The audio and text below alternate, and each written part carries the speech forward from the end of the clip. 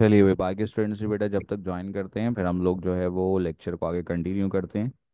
तो जो बात हम लोग कर रहे थे सेंसिटिविटी और गैल्वानोमीटर का सेंसिटिव होना इसको डिस्कस करते हैं, बाकी स्टूडेंट्स बेटा आ जाए तो।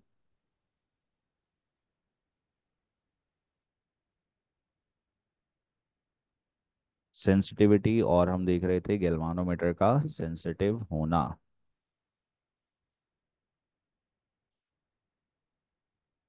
सेंसिटिविटी और गैल्वानोमीटर का सेंसिटिव होना। हम इन दो फैक्टर्स पर डिस्कशन कर रहे थे।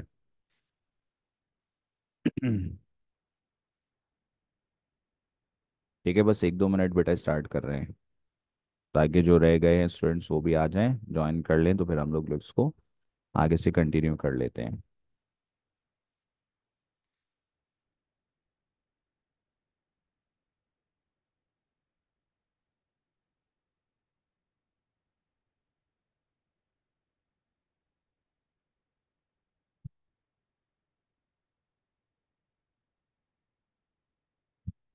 चले भाई ऑलमोस्ट जो थे बेटा वो हमारे पास आ चुके हैं, जो पहले से थे मीटिंग में। अब हम लोग बेटा जी ज़रा इसको आगे से डिस्कस करते हैं। मेरे साथ ज़रा दोबारा से पॉइंट को समझिएगा, हम लोग क्या बार डिस्कस कर रहे थे। हम लोग कह रहे थे कि भाई अगर आपके पास सेंसिटिविटी ज़्यादा है लास्ट टाइम ज़रा इसको रिपीट करेंगे, मेरे साथ ज़रा आइडिया बनाओ दिमाग में। एक आपके पास गैल्वानोमीटर ए है, दूसरा आपके पास गैल्वानोमीटर बी है। अब ए को यूनिट डिफ्लेक्शन के लिए करंट आपने दिया थर्टी मिली एम्पेयर और बी की यूनिट डिफ्लेक्शन के लिए करंट कितना लगा था? फिफ्टी मिली एम्पेयर हमने डिसाइड किया था बी की सेंसिटिविटी ज़्यादा है, क्योंकि उसको यूनिट डिफ्लेक्शन के लिए करंट ज़्यादा देना पड़ रहा है, और जो ए है उसकी सेंसिटिविटी कम है, क्योंकि उसको यूनिट डिफ्लेक्शन के लिए करंट कम देना पड़ रहा है, ठीक है? अच्छा फिर इसके बाद हमने ये बात डिसाइड की कि अगर बी को यूनिट डिफ्लेक्शन के लिए बेटा करंट ज़्यादा देना पड़ रहा है तो फिर वो कम सेंसिटिव है। कम सेंसिटिव है, क्योंकि ज़्यादा करंट देना पड़ रहा है यूनिट डिफ्लेक्शन के लिए, और जो ए की बात करेंगे ए की यूनिट डिफ्लेक्शन के लिए कम करंट देना पड़ रहा है तो वो ज़्यादा सेंसिटिव है। अब सेंसिटिविटी अलग है और सेंसिटिव होना अलग है।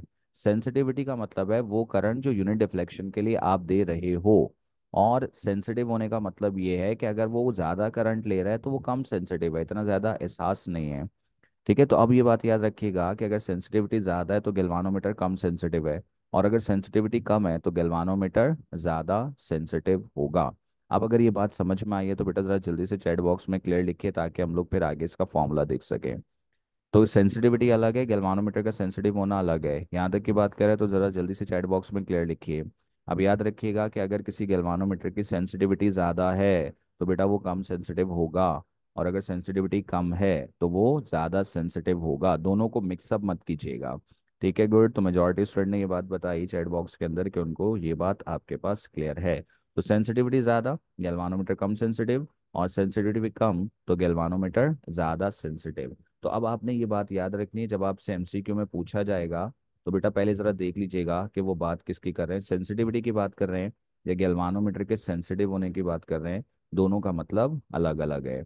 अब इसके बाद बेटा आप इसका फॉर्मूला देखिएगा और फिर आगे हम लोग एक दो बातें और डिस्कस करेंगे और फिर उसके बाद हम लोग जो है वो लेक्चर को एंड करेंगे। तो अब ज़रा एंडिंग की तरफ़ जा रहे हैं बेटा, ज़रा टर्म्स देख लीजिएगा। सेंसिटिविटी का फॉर्मूला क्या बना?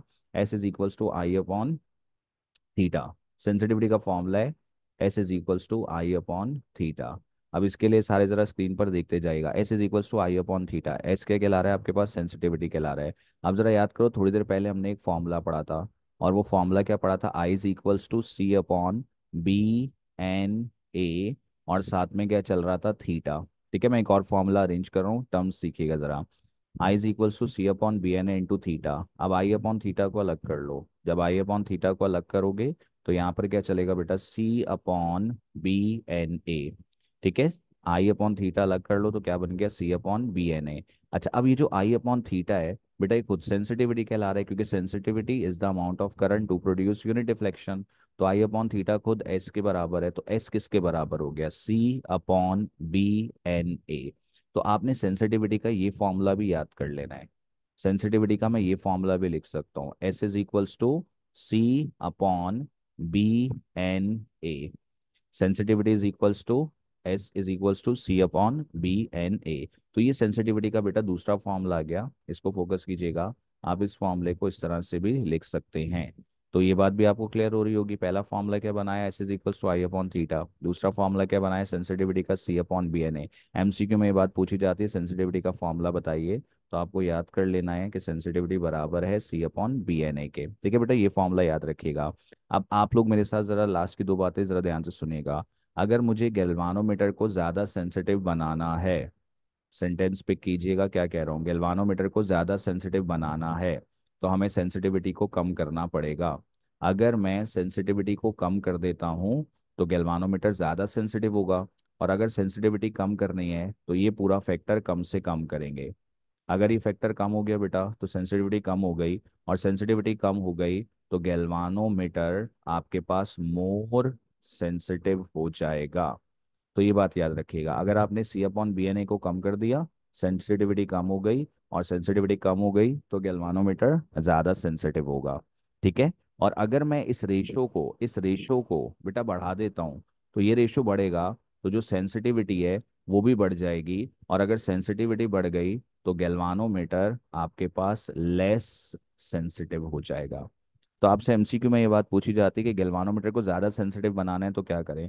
आप कहेंगे ज़्यादा सेंसिटिव बनाना है सेंसिटिविटी कम करो सेंसिटिविटी कम करनी है, इस पूरे रेशो को कम से कम करो। रेशो कम सेंसिटिविटी कम गैल्वानोमीटर ज़्यादा सेंसिटिव रेशो ज़्यादा सेंसिटिविटी ज़्यादा गैल्वानोमीटर लेस सेंसिटिव तो सेंसिटिविटी और सेंसिटिव होना गैल्वानोमीटर का दोनों अलग अलग बातें हैं। तो बेटा अब ये बात आपने याद रखनी है तो आप ज़रा ये पॉइंट पढ़िएगा ज़रा। हम लास्ट में क्या पॉइंट्स लिख रहे हैं? इन पॉइंट्स पर ज़रा फोकस कीजिएगा। हमने सेंसिटिविटी और गैल्वानोमीटर के सेंसिटिव होने के बारे में दो पॉइंट्स लिखे हुए हैं।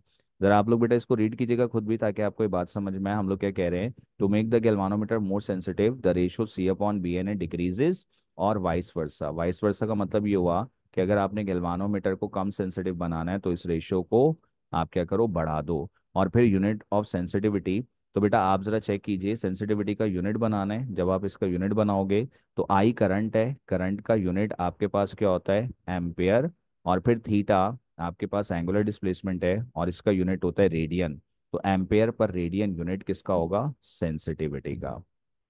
ठीक है बेटा? तो अब ज़रा जल्दी से चैट बॉक्स में मुझे बताइए, क्या यहाँ तक की बात आप लोगों को क्लियर हो गई? जल्दी से बताइए बेटा, गैल्वानोमीटर का पूरा टॉपिक पढ़ा कंस्ट्रक्शन वर्किंग प्रिंसिपल वगैरह हम लोगों ने डिस्कस कर लिया। आप ज़रा जल्दी से चैट बॉक्स में बताइए, यहाँ तक की बात क्लियर है तो चैट बॉक्स में क्लियर लिख दीजिएगा भाई।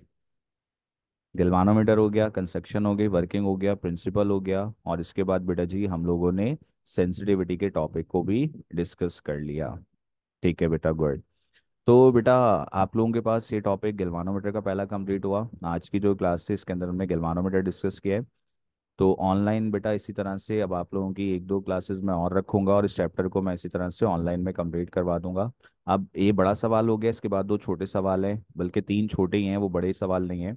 एक एमीटर डिस्कस करना है, एक वोल्ट मीटर डिस्कस करना और एक Wheatstone bridge principle discuss करना है। तो इसी तरह से हम लोग ऑनलाइन क्लास रख लेंगे बेटा। अच्छा अब मुझे एक बात बताओ, ज़रा चैट बॉक्स में ये बता देना, इसमें कोई इशू तो नहीं है ना? सारी बातें क्लियर थी। अगर इशू नहीं है तो नो लिख दीजिएगा, ताकि फिर मैं आप लोगों के आगे भी क्लास कंडक्ट कर दूँगा। ठीक है?